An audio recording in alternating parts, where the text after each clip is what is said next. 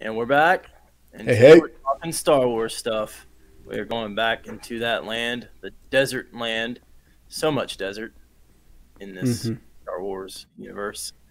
But uh, Yeah. Book of Boba Fett series, season one, maybe. Who knows? If we'll get more. yeah.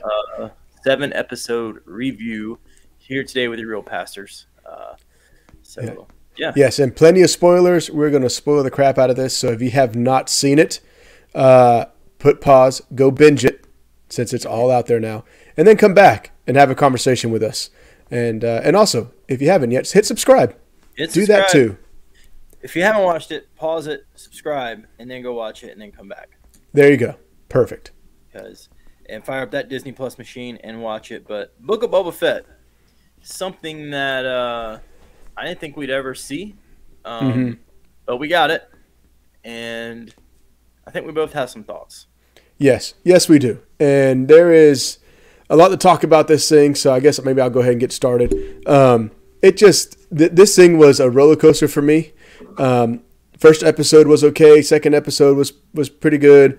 Um, you know, because I like the whole. Hey, we're going to show you what happened after he got out of the pit, the Sarlacc pit, whatever you say it. Um, and I thought that was great. I think showing some flashbacks for the Tusken Raiders and all that was good. Um, to me, it was just a little too much because I'm like, listen, man, from Mandalorian season two, you showed us that he's on Boba Fett. Uh, Boba Fett. Boba Fett is on uh, Jabba the Hutt's throne. I want to see more of that and what's happening. And it spent so much time in flashbacks, and I was just kind of like, come on, man, let's get this thing moving. And uh, and then I was just kind of feeling like they're not doing Boba Fett justice. Like I know he was not a character with huge screen time, but I expected more out of this bounty hunter that everyone feared, and it wasn't that. And so, and before we get into the other episodes, I mean, that was those are kind of my first thoughts of some of the first episodes of this thing. So I was kind of like, eh, about it. What about you, Gary? Um, I think I, I'm I'm right there with you. Um, and after watching this series, I I come away thinking that was some great Star Wars stuff and some okay Boba Fett stuff. Mhm. Um, I get how his time with the, the Tusken Raiders, it Mhm. people, Yeah. I call them around my house, um, they uh, I, I get that storyline and I get that being in flashback, but I didn't need all that. I, I'm right there. I wanted more of him on the throne taking over for Jabba the Mhm. Hutt, and um, yeah, so that was kind of a complaint for me. And I came away from this thinking, you know what? Maybe Boba Fett is just better served as a side character, Mhm. not the main focus. Um, Yeah. because I mean, I didn't hate it, but it's also like I didn't didn't really didn't really care. Yeah, I know. And like I expected this to like him just being awesome, right? Kicking butt and taking names and and like so I got this picture and like when I see this picture I was like, oh man, that looks awesome. Like look at them looking legit and just like, oh, we're so angry and stuff and we're gonna take this town. And that's what I expected out of it, but we didn't get that. And so it was like if you're gonna take this kind of character, I wanted more of that. And then you like even you saying, you know, I think this served more as him being a better as a side character. Um, the show did too, apparently. Yeah. Um, it I did. wasn't sure if we're gonna get to that yet, but Yeah, the show did too. But we'll get to that. But like, yes, I was just kind of like, this is what I was expecting.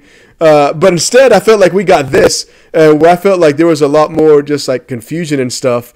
And I just kind of felt like we got more of this Boba Fett right here, where they're both just kind of like, uh, uh, what is that? You know, like they're just not really knowing like what's going on, right? Like they're just like, uh, they look so confused.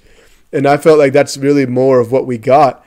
And I just wasn't, we didn't get Of- enough of her, in my opinion. I think she got it. She's a great Yeah. character, and she very little, very little screen time.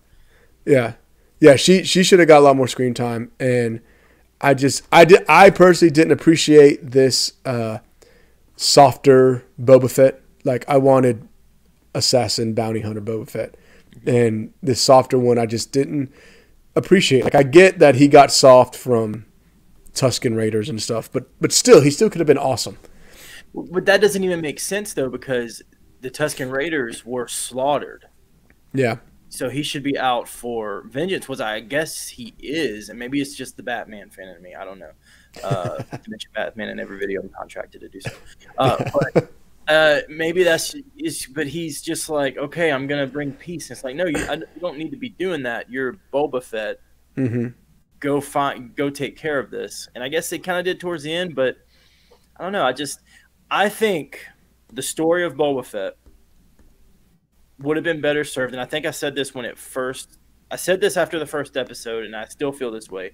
Would have been better served as just a movie, an hour long movie Mm. that explains how he went from the Sarlacc pit to the episode of The Mandalorian. Mm-hmm. And maybe a little bit for, you know, maybe him and, uh, was it Ming Wing? I mean, I can't Ming Wing. Young, something like Yeah. that. Yeah, with with them being bounty hunters together, and just hint at them on the doing side missions and stuff. And that's really all we need of the character. Yeah. hmm And what made Boba Fett so great? One, he, he looks awesome. Yeah. you know. But two, there was a, a there was a mystery around him, hmm and that's kind of gone now. Yeah. Kind of a bummer. Yeah, and especially because in Mandalorian, we already saw him with his helmet off hmm and all that. The Made fact sense. that yeah, which made sense because he didn't have his armor. Have it. But him constantly taking his helmet off, I'm like, stop it! Like it just drove me nuts. I'm like, stop doing that. Like, like be like I know he was wasn't true Mandalorian or whatever, I guess, but still, it was just like keep the helmet on. Like, be awesome. I mean, that's you had it on through the original trilogy. well, I guess Empire and Return of the Jedi. Like you had it on, and like you get your armor back, keep it on. Like be the awesome Boba.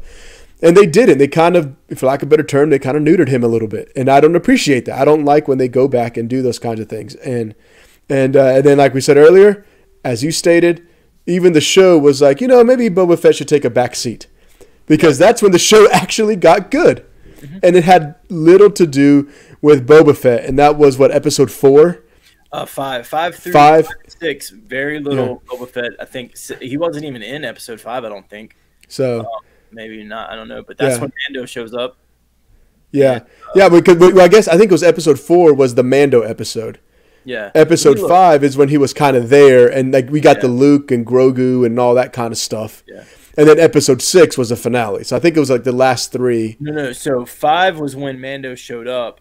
Oh, okay. Because seven was the finale. There were seven episodes. oh that's right okay so I, that's why so there's seven so it was five six seven okay Four is when they hinted at him that I missed. That's right. I, text- I sent you a text. I was like, yeah I missed the Mandalorian theme that played when they said we need more muscle.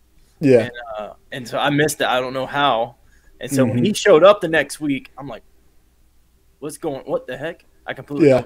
So I was like completely shocked. But I will say, as much as this series was very okay, episodes five and six were some of the best Star Wars stuff I've seen in a very long time. hmm and and in a mo- movie a movie a show called book of boba fett he took a backseat to his own show Yeah. um, so when, when you look at it from the lens of like boba fett stuff that's where i think the series didn't work because he had to take a backseat in his own series Mm-hmm. but if you do look at it as the book of star wars stuff yes. then this was a great series. Um, you know, and when you look at it that way, because yeah, then you, you were able to build on the character of Boba Fett. You're able to show all that extra stuff, really dive into his character, which I think that's the the first episode would have been better served if they just continued just with Boba Fett and maybe just had Mando show up mm-hmm. for the fight, and then mm-hmm. you could have that. And I think it probably would have been better served. But where it didn't do that, and he took a backseat to his own show, and then it turned into Mandalorian season three, episodes one through three. Yeah. Then, then like then that's where like it didn't serve the Boba Fett thing very well.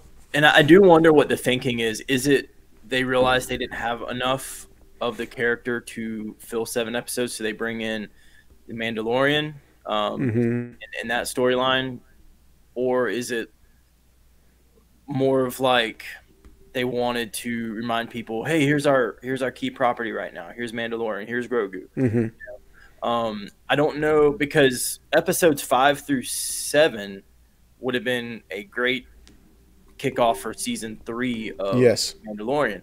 However, maybe they wanted to do that so when they start episode or season three, they don't have to tell the whole. We know why how they got reunited. Uh, spoiler alert: Grogu chooses Mando, Yeah. and uh, so may, so maybe now episode season three can be them two back together on their journeys.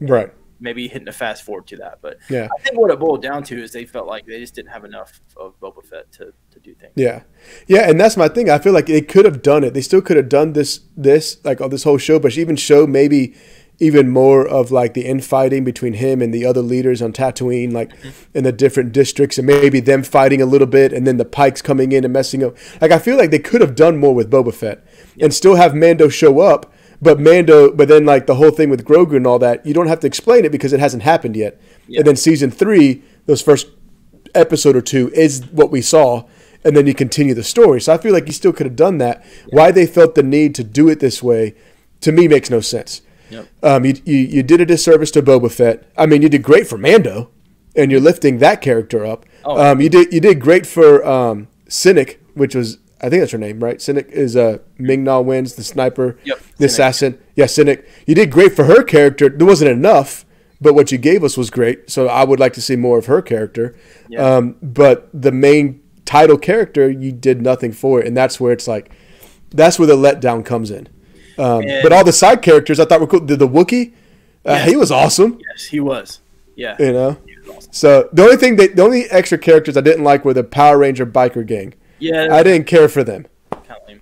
Yeah. Yeah, but Um, and I, it just, I said this to you. I texted this to you after episode six.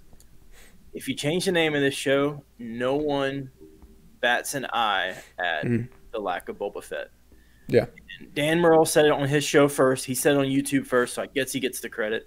But if you change this to Star Wars Chronicles, or my idea was Star Wars stuff, yeah, you just tell stories in this universe and you still have mandalorian like don't you still have that show but like these side stories just call it Mhm. something else don't call it well, call it book of star wars and then you don't Yeah. have to focus it can be okay that you venture away from hmm Boba Fett for a little bit, but as a Boba Fett story, not great. As a Star Wars story, those last three episodes I thought were were pretty amazing, yes, yes, they were.